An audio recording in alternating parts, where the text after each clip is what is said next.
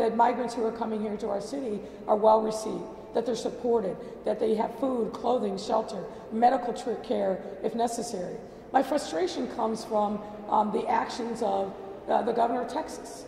There could be a level of coordination and cooperation, but he chooses to do none of those things and instead tries to uh, send human beings, not cargo, not freight, but human beings across the country to an uncertain destination um, and, and what the circumstances here on the ground. We have yet to hear from anybody in an official capacity from Texas. That's unacceptable. We're talking about human beings' lives who have themselves gone through an incredible journey just to get to the United States. I think the decent human thing to do is to co- cooperate and collaborate. Um, I understand what, what, that he obviously has no interest whatsoever in providing any kind of support to people that are coming to Texas. But then do the right thing and collaborate and cooperate. Instead of us having to guess, are they coming? Are they not coming? How many? What are their needs? That is insanity that doesn't have to happen. He is manufacturing a human crisis, and it makes no sense to me.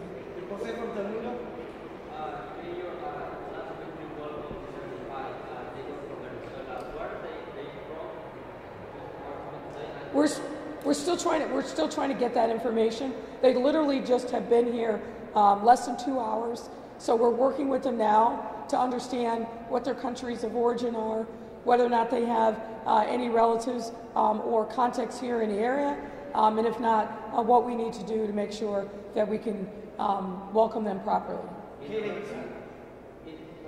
We can we can do we can do a follow up. That's okay. Go ahead, sir.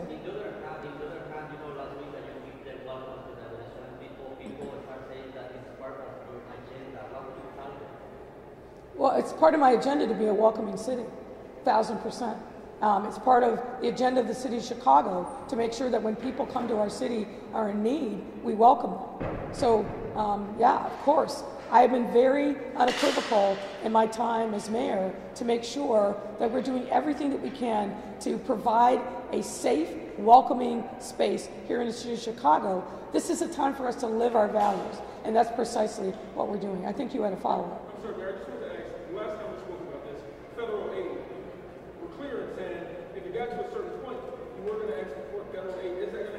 We have already done. We've already done that. We started that process last week, um, and particularly, obviously, since we see that there's going to be a continuing transition of folks from the border to Chicago. Of course, we're asking for any assistance that we can get from the federal government. The state has stepped in. The county has been uh, an awesome partner. So we're asking all people of goodwill to step up and help support us. And in fact, um, we've stepped, set up a website um, on the City of Chicago's um, formal website. That's cityofchicago.gov forward slash support. Cityofchicago.gov forward slash support. So those who um, want to provide food, clothing, shelter, or just monetary donations to help support the work of the not-for-profits that are on ground, doing um, everything that they can to support uh, these folks, we need your help. So I hope people will respond. How are you, ma'am? Good to see you. Good to see you. Matt, you spoke passionately about that frustration. Message to the governor, what kind of optics does this, what kind of precedent does this set for America and what, what this nation purportedly is to be? Well, I don't think this is what we stand for. I think it's decidedly unpatriotic and un-American. Um, I understand the pressures uh, that the people of Texas and some of the other border states are under.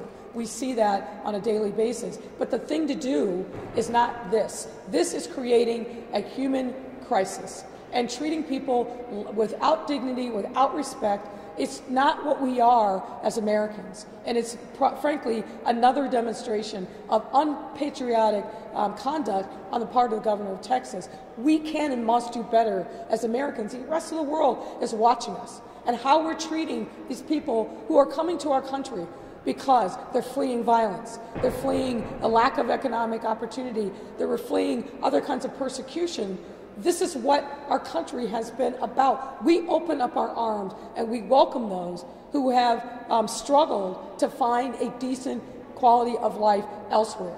And the way that we welcome them is not what the governor of Texas is doing. It is absolutely un American. And I urge him He professes to be a Christian.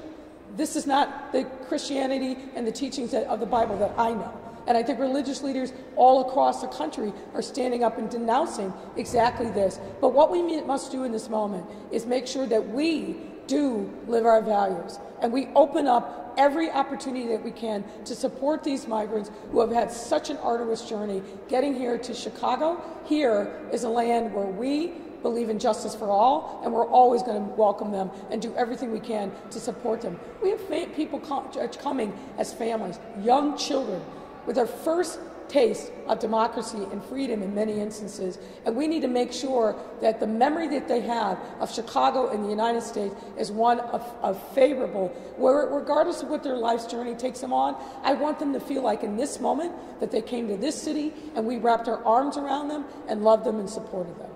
Univision. Hi there. Well, this is, as I said, a real um, network of care from the state, the county, and the city. They need what you would expect. They need sh um, shelter.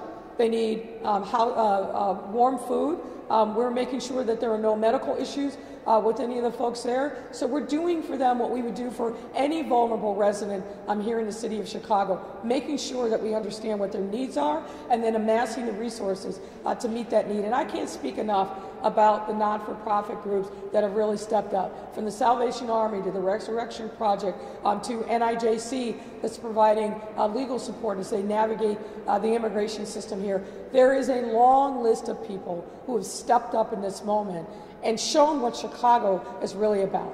That we are here to help our neighbors, whether they're long term residents or people coming new to our city. Well, we really don't know, and that's part of my frustration with the governor of Texas. Um, he's just putting people on, on uh, buses and treating them like freight. That is the frustrating thing.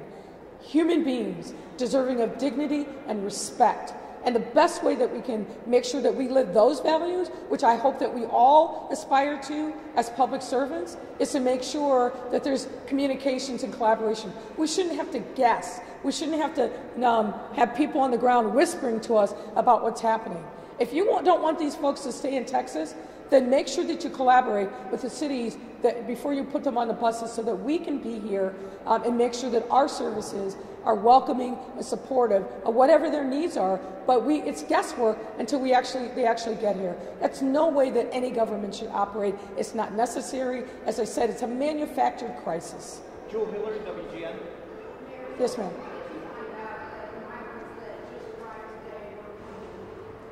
I think we got word of that um, late yesterday. Um, but again, it's always um, uh, uncertain until we get more specific information. So we got word uh, from uh, various contacts that it might be a possibility. And then throughout the course of the day, we were monitoring to make sure um, that we had the best and most up-to-date information as possible. It really became real, um, I will say, late afternoon, and then they arrived here, as I, as I mentioned, at about 4.15. Okay. Thank you, everyone. And don't forget the number or the website, uh, chicago.gov forward slash support for anyone who wants to provide support, um, whether it's food, clothing, shelter. Um, there's a lot of needs that are here. Our not for profit partners are stepping up, the governments across the uh, state, county, and city, but we can always use uh, extra support and help. Thank you all very much.